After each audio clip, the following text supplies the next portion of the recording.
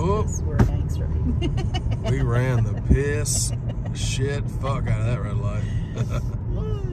Bless them. Uh, are you turning? Are you turning? They did not put turn signals. No, look, and they're driving and, transit grab vehicle the shit handle.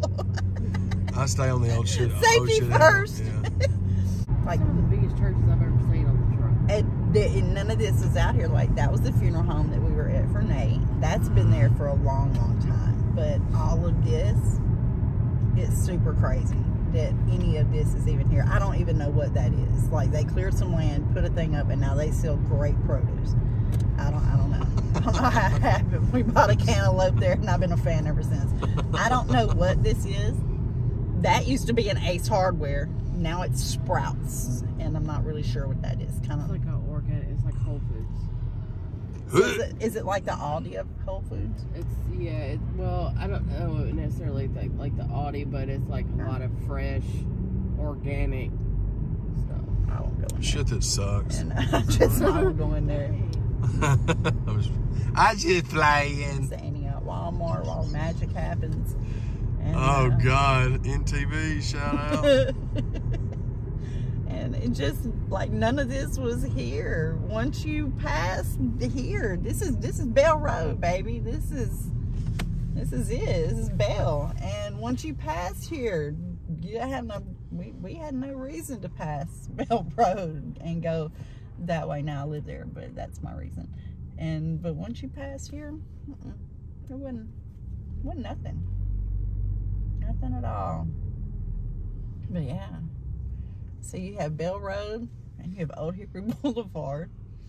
And, you know, they would look at your license and they would see 37013 if you were caught there and got pulled over.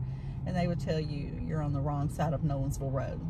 And Really? yeah, we got pulled over. It was years ago Damn. and uh, we were out. We were going to a party in Brentwood. We had no place. We had no reason. Like that was just not us. But hey, there's a party. Let's go, we were going to a party in Brentwood, and we got pulled over.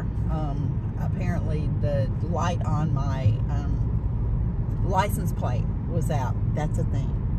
I did Yeah. not know. Okay, so he pulled us over. Where you going? All that stuff.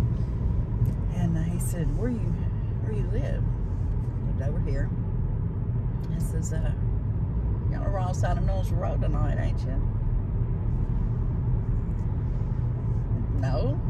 No, this was the directions they gave us. But it was um they had a thing. And I'm sure they still do because now they split up Antioch and some of it's called Cane Ridge. You're still in Antioch.